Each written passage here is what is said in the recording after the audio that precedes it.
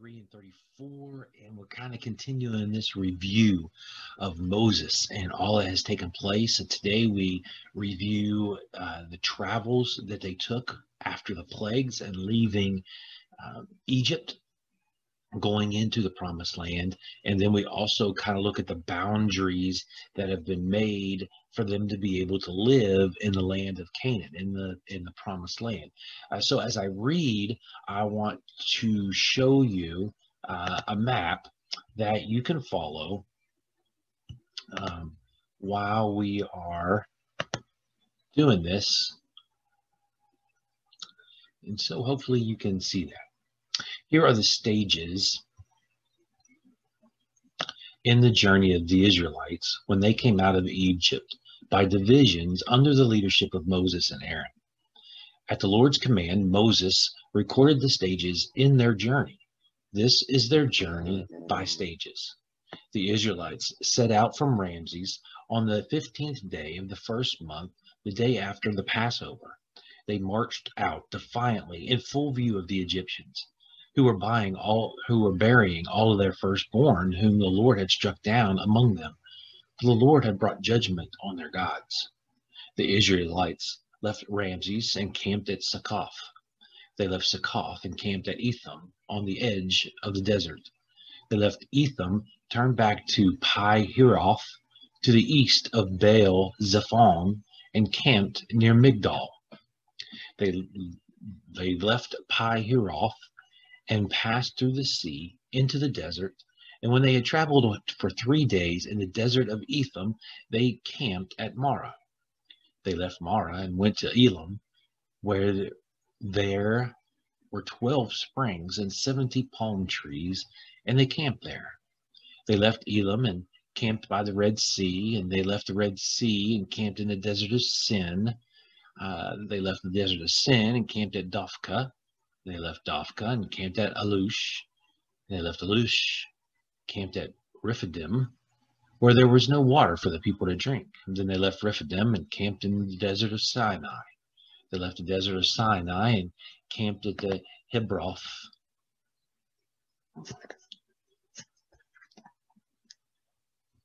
Camped at Kibroth Hattaavah. They left Kibroth Hattaavah and camped at Hazeroth, and they left Hazeroth and camped at Rithmah. They left Rithmah and camped at Rimmon Perez, and left Rimmon Perez and camped at Libnah. and they left Libnah and camped at Rissah, and they left Rissah and camped at Kelatha. They left Kelatha and camped at Mount Shafir. They left Mount Shafir and camped at Haradah. They left Haradah and camped at Mekaloth.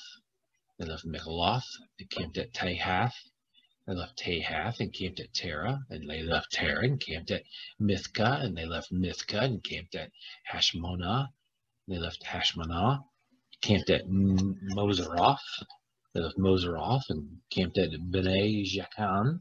And they left Bene Jaakan and camped at Hor Haggidgad.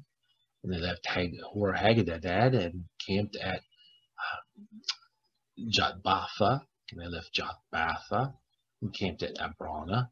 They left Abrana and camped at Ezion Geber, and they left Ezion Geber and camped at Kadesh in the desert of Zin. They left Kadesh and camped at Mount Horah on the border of Edom. At the Lord's command, Aaron and the priest went up Mount Hor, where he died on the first day of the fifth month of the fortieth year after the Israelites came out of Egypt. Aaron was 101 was 123 years old when he died on Mount Hor. The Canaanite king of Arad, who lived in the Negev of Canaan, heard the Israelites were coming. They left Mount Hor and camped at Zalmonah, and they left Zalmonah and camped at Punon. They left Punon and camped at o- Oboth, and they left Oboth and camped at I Abiram on the border of Moab. They left I Abiram and camped at Dibon Gad.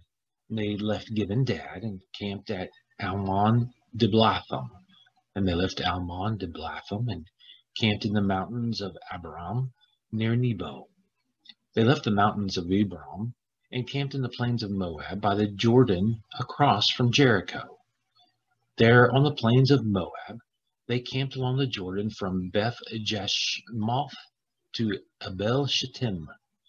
On the plains of Moab by the Jordan across from the Jericho, the Lord said to Moses, Speak to the Israelites and say to them, When you cross the Jordan into Canaan, drive out all the inhabitants of the land because you, inhabitants of the land before you, destroy all their carved images and cast their idols and demolish all their high places Take possession of the land and settle in it, for I have given you the land to possess. Distribute the land by lot, according to your clans. To a larger group, give a larger inheritance, and to a smaller group, a smaller one. Whatever falls to them by lot will be theirs. Distribute it according to the ancestral tribes. But if you do not drive out the inhabitants of the land, those you allow to remain will become barbs in your eyes and thorns in your sides. They will give you trouble in the land where you live, and then I will do to you what I plan to do to them. So that's chapter 33. And you can see on that map just the course that they take. Now we talk about the boundaries as they conquer the land. Where are they going to stay? How big is their territory going to be in chapter 34?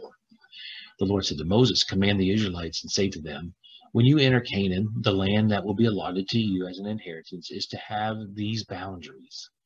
Your southern side will include some of the desert of Zin along the border of Edom. Your southern boundary will start in the east from the southern end of the Dead Sea, cross south of Scorpion Pass, continue on to Zin, and go south of Kadesh Barnea.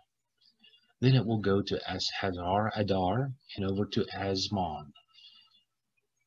Well, it will turn, join the Wadi of Egypt, and end at the Mediterranean Sea. Your western boundary will be the coast of the Mediterranean Sea. This will be your boundary on the west. For your northern boundary, run a line from the Mediterranean Sea to Mount Hor, and from Mount Hor to Lebo Hamath. Then the boundary will go to Zedad, continue to Ziphron, and end at Hazar Enan. This will be your boundary on the north. For your eastern boundary, run a line from Hazar Enan to Shepham. The boundary will go from Shepham to Riblah on the east side of Ain and continue along the slopes east of the Sea of Galilee. Then the boundary will go along the Jordan and end at the Dead Sea. This will be your land with its boundaries on every side. Moses commanded the Israelites, assign this land by lot as an inheritance. The Lord has ordered that it be given to nine and a half tribes, because the families of the tribe of Reuben, the tribe of Gad, and the half tribe of Manasseh has received their inheritance. These two and half tribes have received their inheritance east of Jordan across from Jericho toward the sunrise. The Lord said to Moses, These are the names of the men who are assigned the land for you as an inheritance. Eleazar the priest and Joshua son of Nun. And appoint one leader from each tribe to assign the land, and these are their names.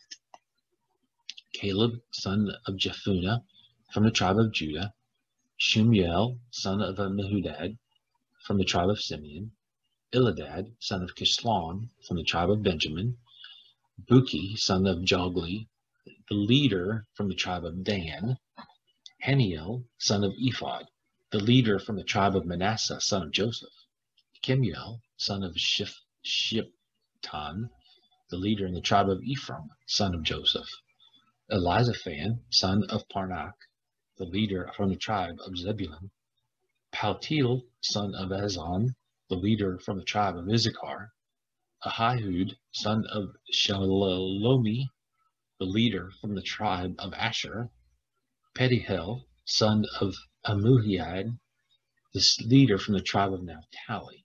These are the men the Lord commanded to assign the inheritance to the Israelites in the land of Canaan. And so you see on this map, uh, it goes from the Mediterranean Sea all the way down into the wilderness here, Mount Hor, all the way around up, and then farther north. So God has given them a whole lot of, of territory for them to be able to um, to to live in. And here's what's here's what's amazing about all of this. And it, it it's that Moses, as he's writing this down, he's keeping a journal and he's writing down every place they stay and everything that they do, so that today we can look and we can see the route and we can see, you know what, Moses put down exactly. Now, some of the names have changed, and sometimes we get confused on some of the names, but we get the general idea of what Moses has done, and we see the, the plan that God has put in place for the Israelites to leave, to, to live. And, and so for us today, it, it is a great opportunity for us to, to believe uh, what the Bible is talking about because it's all right there and we can we can digest everything that's taken place. I hope you enjoyed that, and I hope that you have a great day.